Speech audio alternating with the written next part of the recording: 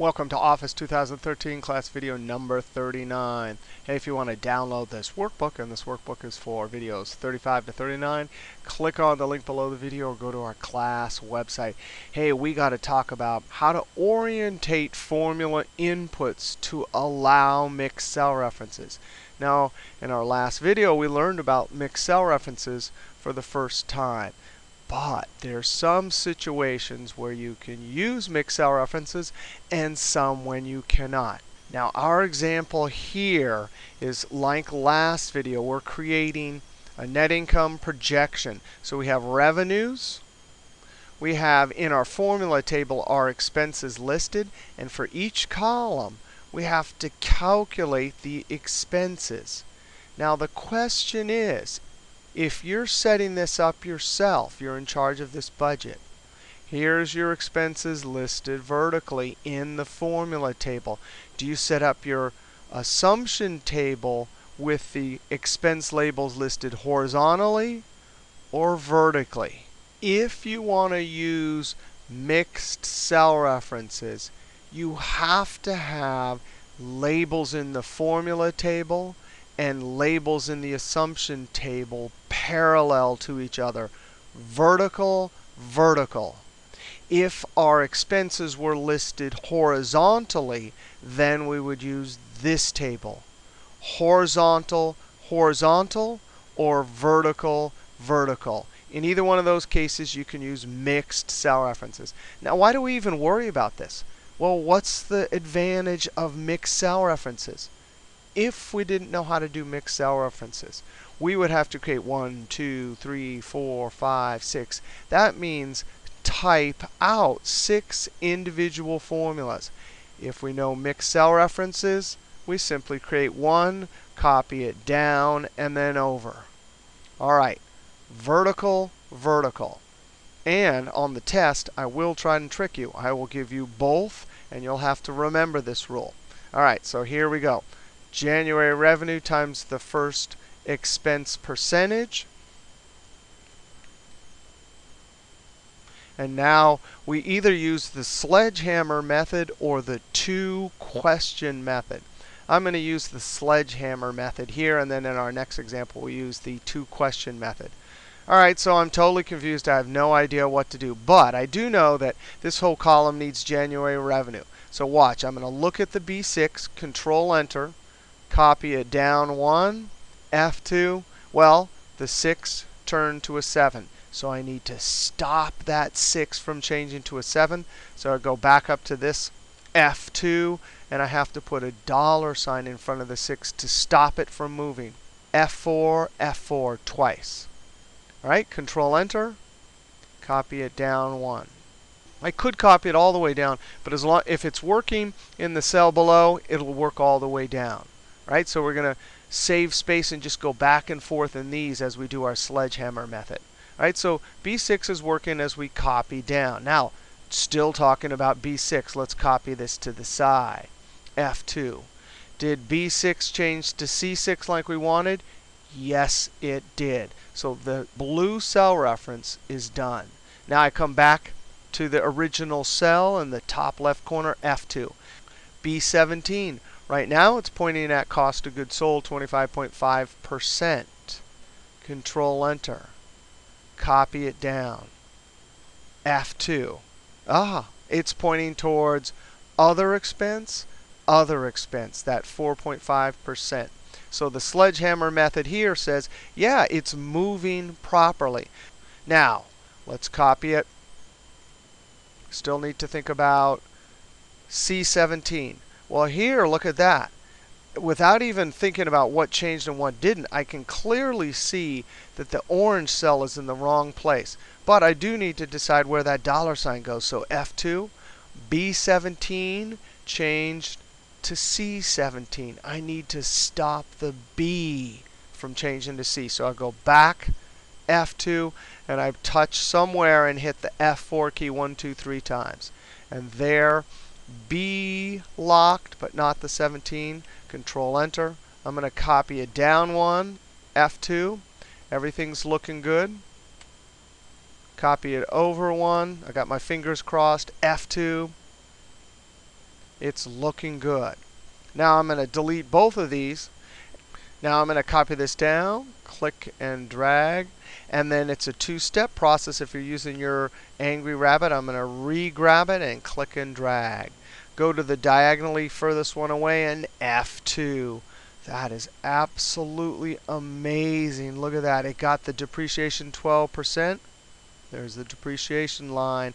And it got the June revenue. That's amazing. And what do we do? We saved a lot of time while creating this budget. Now we want to think of something else here. From earlier videos, F2, we learned that if you're multiplying or dividing decimals, and we are here, we have 25.5% or underneath there is 0.255. If we're multiplying, in this case, decimals, and we're using that formula result in a subsequent formula, we need to use the round function. So I'm going to hit F2 and add the round to this. I'm going to come to the end. Remember, if you see your selection cursor, you don't want to click. It's only when you see your I-beam cursor that you click. We're rounding to the penny here, so comma 2, close parentheses. Control Enter. I'm going to copy it down. I'm not going to double click because I don't want to replace all these other ones. And then click and drag over. Go to the diagonally furthest one away, F2. Still looking good. Now, with that in mind, I want to go back and look in our last video. Cell references 4. Notice here we were calculating with the future value our pension. We were never using these in any subsequent formulas, so I don't care about rounding them. I'm just looking at this, these formula. I'm just looking at these formula results. If I go over to CR3, here's another example. Now notice I have this highlighted, all of the expense formulas. So I'm going to do our trick with the active cell. Anything F2 that's in the active cell, I can populate all the highlighted cells with whatever I put in this cell using Control Enter. I'm going to edit the formula. Round. This meets our definition. We're multiplying and dividing decimals. We're using the formula result in subsequent formulas. So I want to make sure that this is rounded to the penny. Money, right? Control. Here, edited formula, repopulate into all the highlighted cells by using Control Enter. Go to the diagonally furthest one away, F2. Absolutely beautiful. Over here we had number 2, CR2, integers, not a problem. CR1, this example here, we actually never did anything with these numbers except for look at them. If we had a total at the bottom, you absolutely would use the round function. All right, we're going to go back to our AT sheets. There we go. We did a net income projection using mixed cell references and round. Now we want to go over to AT1. Here's a different example. We have payroll. The name, we have January sales commissions, base salary. There's our gross pay. But we need to calculate the FICA deduction, the Medicare deduction, and the federal withholdings. The question is, do we use this assumption table or this one? It's easy. You just look. Our labels, are they orientated horizontally or vertically? They're horizontal, so the assumption table has to be horizontal. So we can create our base formula and then ask our two questions about the cell references. Gross pay times the FICA deduction. Now, we ask two questions of each cell reference. There's our gross pay. Well, we're going to have to use gross pay for Medicare deduction and for federal withholdings. So that means when we're copying across the columns, we need to have it locked. So I'm going to hit the F4 key one, two, three times. When I copy this down from Amy's gross pay to Paul's and then Stevie's, I need it relative. So no dollar sign in front of the number. Now I click my cursor somewhere touching the next cell reference and I ask the two questions. When I copy it over to the side from FICA to Medicare deduction and then federal withholdings. Do I want this F12 to be locked on 6.2% or do I want it to move? I want it to move. So when I get to the Medicare, I need to be looking there. When I get to federal withholdings, I need to be looking there. So relative moving across the columns. Now when I copy it down from Amy to Paul to Stevie, do I want this to move or do I want it locked? I want it locked.